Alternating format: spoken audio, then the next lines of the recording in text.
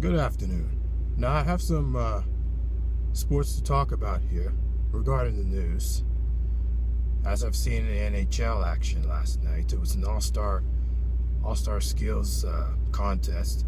I think the Eastern Conference won all of it because I mean, according to some highlights, they were leading. But anyways, the All-Star game, NHL All-Star game, is uh, tonight which the Eastern Conference will play Western Conference. See which conference has uh, hockey supremacy. High hockey supremacy, that is.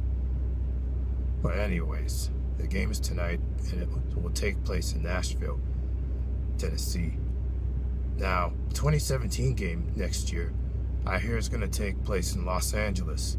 That's where the LA Kings play.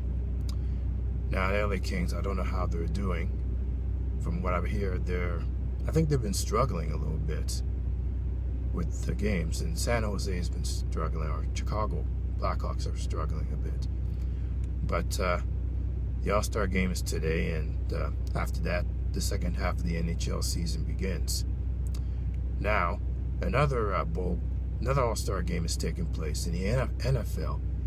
The AFC, I think it's the um, Pro Bowl that's going to take place. This game takes place right before next week's Super Bowl action. With Super Bowl 50, we'll see the Denver Broncos play against the Carolina Panthers for the Super Bowl. I think the Pro Bowl is today in Hawaii. Now, I don't know what time that game starts, but uh, it's uh, both games and the NHL game is on today. So, that's all I have to say for sports for now.